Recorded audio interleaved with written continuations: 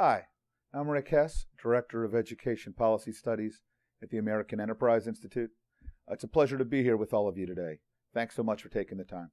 I just want to take a couple moments uh, to talk about uh, innovation and really a transformative change in K 12 schooling and what you all are in a position to do to help make it happen.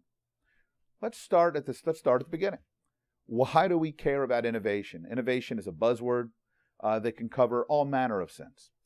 The reason that I think we need to embrace what we call innovation is because our schools and our school systems were not built to meet the need of children in today's world. Uh, the common schools of another era were built out in the middle of the 1800s in an effort to make sure all kids got a little bit of schooling. When we universalized public education in the early 1900s, um, only one child in 10 finished high school. We're not talking about something that was ever intended to educate all of our children to a high level. Today we are. And it's no surprise that when our demands have changed, that the way we go about the work of schooling should probably change. But there's more than that. Not only have our demands changed, not only are we more concerned about how our children uh, learn and how, how our children are equipped uh, to, to, to, thrive in a uh, internationally competitive world, but our tools have changed too. We have opportunities today that once didn't exist. 30 years ago, if you wanted to tutor a child, you had to drive to that child's school. Today, if we want to have a child tutored, they can take their iPad, heck, they can take their smartphone, and they can hook up with a Mandarin tutor who lives in Beijing or Boston or Bangalore. So the question is how do we make it possible for schools and school systems and parents to make sure that they are able to take full advantage of all of the resources and all the talent at our disposal to equip our kids for today's higher demands? That's the challenge for educators.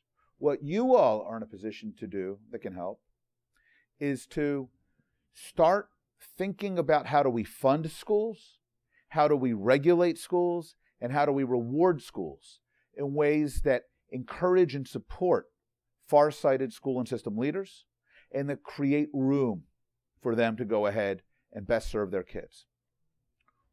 First off, at a very simple level, today's school and system leaders are often frustrated. We have decades of rules and regulations.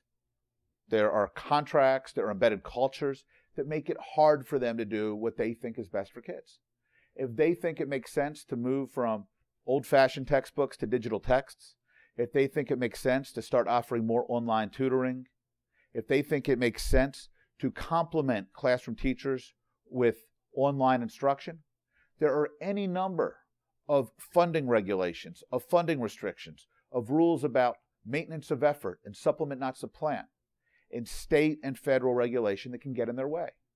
There's huge opportunities for state leaders at the state education agencies and in the legislature to take a hard look at decades of accumulated rules, talking to superintendents and reform minded school boards and strong principals, and identifying which of these rules and regs are now doing more harm than good, whatever the justification when they were first passed.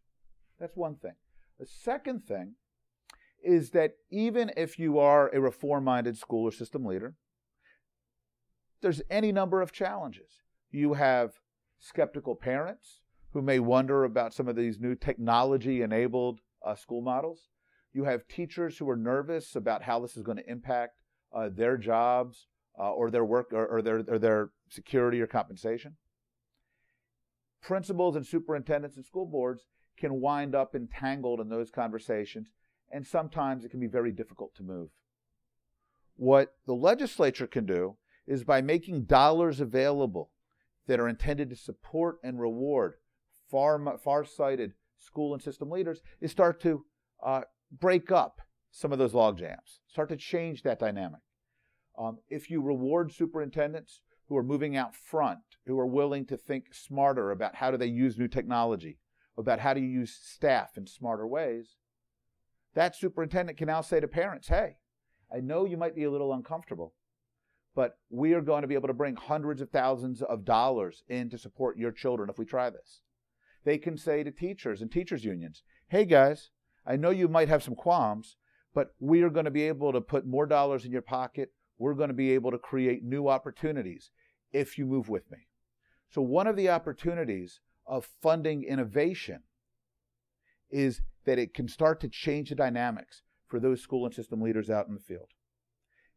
Part of the trick here is getting comfortable with the idea that we're going to make dollars available to reform minded school and system leaders without new mandates, without new restrictions, without trying to imagine that you guys in a state capital or those of us sitting in a think tank somewhere um, know precisely how these dollars can best be spent across the state. Now, look, one final point I want to make. This can be a challenging push, especially in a tight fiscal environment, especially with competing priorities. We always hear uh, concerns about why fund any of this stuff. Let's put dollars into adding teachers and a shrinking class sizes. Look, the reality is that in education or anywhere else, the bulk of reform energy is, ma- is about making a difference in the talent level. Great school leaders, great system leaders, great teachers are the most valuable thing that anybody can deliver, whether that's a body in the classroom or folks who are helping Ohio's children online. And the reality is, if you start to become a magnet for that kind of talent, like Washington, D.C. has come, like New Orleans has done, what's going to happen is Ohio is going to be increasingly attractive to problem solvers, to educators, and to entrepreneurs. That's the real opportunity here to start to create that dynamic cycle where folks are coming to Ohio with an eye to solving challenges for kids. Thank you so much for taking the time uh, and allowing me to visit with you today. Um, and the best of luck as, uh, as you tackle these critical issues.